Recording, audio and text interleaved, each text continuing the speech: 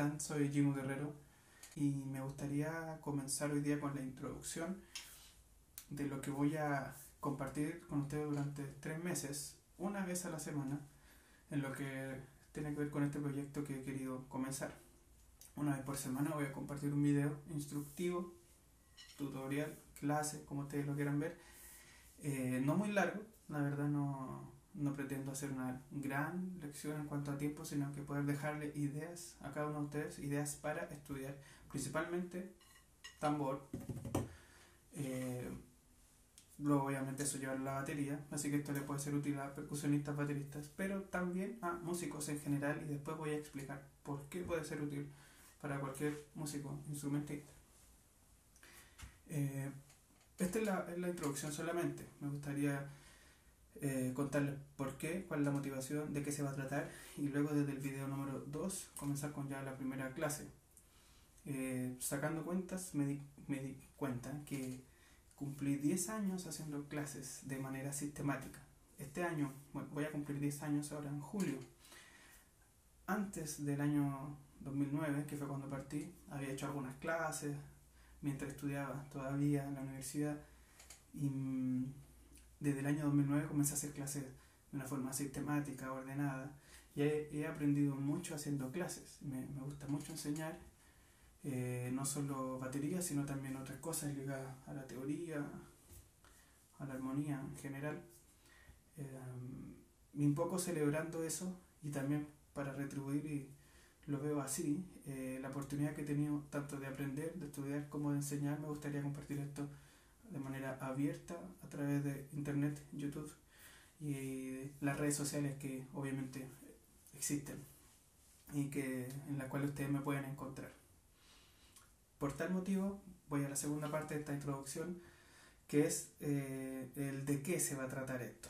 Eh, como ustedes ven tengo las herramientas básicas que ustedes necesitan que son un pad o el tambor, un par de baquetas, un metrónomo, que en este caso lo tengo ahí atrás en el computador. Eh, vamos a hablar un poco en video de entre 5 y 10 minutos alguna exploración rítmica diferente a la habitual de algunos rudimentos de tambor.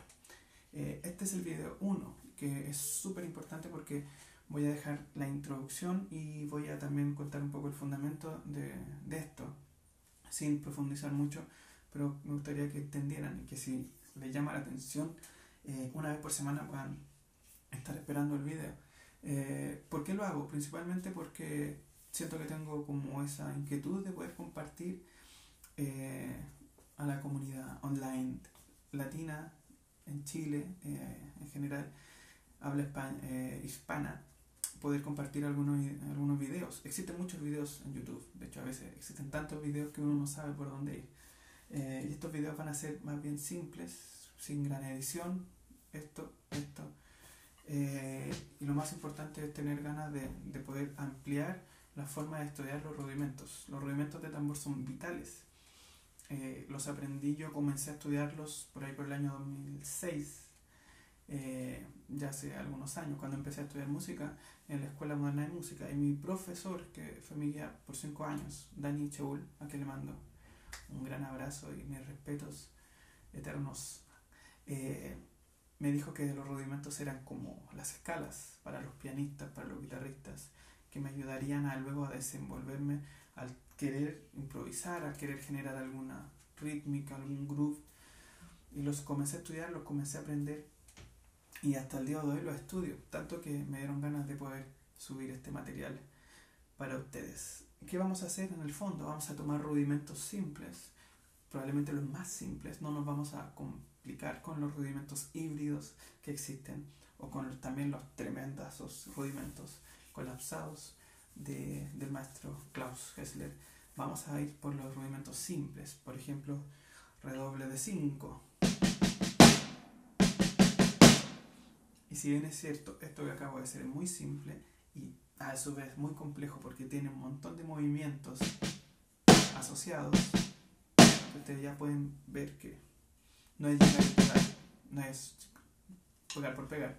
No me quiero detener tanto en, en este caso en esos detalles, sino que detenerme un poco más en las opciones y en la exploración rítmica que le podemos eh, sacar a esa simple combinación de golpes dobles. Esa va a ser la primera clase justamente, el redoble de 5 explorado en qué contextos, por ejemplo en contextos de diferentes métricas, ser capaz, ser, estar habilitado para tocar el, rudimento no solamente en la métrica 4 cuartos o 2 cuartos, sino en 6 octavos, sino en, en diferentes métricas.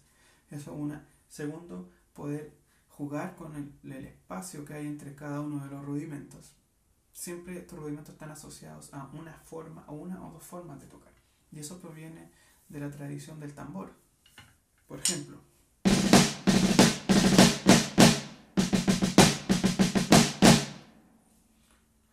escuchamos eso en las bandas, ¿cierto? En la música militar. Y de ahí es donde viene. Y eso es un lenguaje muy bonito que hay que estudiar. El problema que yo comencé a ver, y ahora voy a la segunda parte, al fundamento de por qué hago esto, es que me di cuenta que esas opciones, uno las estudia mucho tiempo, uno, dos, tres, cuatro, cinco meses, años, luego las aplicamos otro tiempo y tomamos los libros de Charles Wilcoxon y un montón de otros libros que, que uno puede aplicar, que son muy buenos y que los recomiendo. Y luego los pasamos a la batería y cada vez va decantando. O sea, a veces pasamos tanto tiempo tocando los rudimentos para aprenderlo, luego otro poco tiempo para aplicarlo en el tambor y otro muy poco tiempo para aplicarlo a la batería. Al final existe con mucho tiempo de estudio, poco tiempo de práctica, de aplicación en la batería, o mucho tiempo estudio, mucho esfuerzo para aprenderlo, pero después cuando vamos a la batería encontramos una, dos, tres formas solamente. La idea es que todo lo que tú estudies te pueda aplicar, se pueda servir para la batería, para hacer un solo, para crear un groove para en el fondo desarrollar tu propio lenguaje. Entonces me di cuenta de que había que seguir explorando y buscando maneras de eh, aplicar estos rudimentos de forma diferente. Es por eso que vamos a atacar la rítmica, no tanto así el cómo ejecutarlo, que es súper importante. Y si alguno tiene alguna duda, me puede escribir, podemos quizá en algún momento hacer alguna clase más específica de la técnica, de la posición, del grip, qué sé yo. O también pueden escribirme para tomar alguna clase online o clase privada en mi taller y podemos trabajar el detalle del movimiento. En estos videos, como es algo más rápido y tiene que ser más fluido, ¿cierto? Eh, vamos a atacar la parte rítmica. El ritmo es todo. El ritmo es todo. Podemos conocer los rudimentos, pero no conocer las opciones rítmicas que estos proveen y nos vamos a quedar tocando marchas, que es muy bien, pero difícilmente vamos a querer dedicarnos a tocar batería tocando marchas ¿cierto? queremos ser la mayoría de nosotros bateristas. Y por eso que estas clases también le pueden ser útil no solo a bateristas y percusionistas, sino también a general músicos, porque vamos a hablar de ritmo, vamos a jugar con células rítmicas y ampliarlas y verlas de forma diferente, desde diferentes ángulos. Por lo tanto, esto te puede servir también si tú eres cantante, guitarrista, bajista y tienes inquietudes rítmicas, cosas que quizás a veces quieres hacer y no te salen porque te sientes incómodo porque hay que quizás ir por algún lugar en donde no has ido. De eso se va a tratar este ciclo. Vamos a hacer una clase a la semana. Eh, los fines de semana van a aparecer estas clases. Em, van a estar mis cuentas de redes sociales, correo abierto, ahí disponibles para que ustedes puedan eh, escribir, compartir, si me quieren etiquetar, qué sé yo. Eh, pero lo importante es que puedan poner en práctica esto después en la batería. Principalmente vamos a usar un par de baquetas y este pad eh, asociado vía MIDI a, un tambor. Eh, luego, eh, después de estos meses, me gustaría hacer algunas aplicaciones de esto en la batería. eso va a estar muy interesante también. Y, y siempre va a haber aquí, lo voy a mostrar por mientras aquí, una imagen con, con, el sticking que estoy ocupando, con el rudimento, con la partitura chiquitita. Y eso va a ser muy útil para que ustedes, si que algunos lo entendieron, si lo dije muy rápido o si no se entendió y no se notó, lo puedan visualizar para en el video y en el fondo esto puede ser muy útil como para tener una idea para trabajar durante la semana y de aquí en más, porque son cosas, hay cosas que uno en una semana no las alcanza a asimilar. Así que eso, finalizo diciendo que eh, después de 10 años de hacer clases, eh, de forma sistemática he tenido esta posibilidad y el tiempo y, y las ganas de poder compartir algo así, de manera online. Así que solo espero que si les gusta lo puedan compartir que si alguien tiene inquietud, duda, me pueda escribir. Podemos ir resolviendo de manera que estas clases sean útiles para desarrollar su propio lenguaje. Al final de todo esto, utilizar los rudimentos para hacer lo que ustedes quieran hacer. Eso. Nos vemos una vez a la semana aquí en clases con la exploración rítmica de los rudimentos.